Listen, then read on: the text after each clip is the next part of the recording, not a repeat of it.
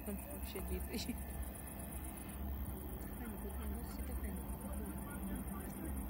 Странно, что на носу музыка лунает.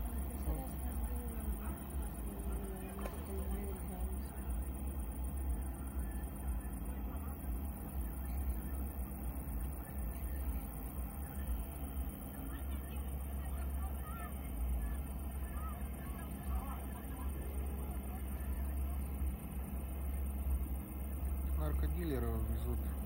блядь. Он реально пострел выглядит так в телефоне. Такой реально ты где-то там снимаешь где-то хер знает где, да, знаешь, какой-то корабль плывет.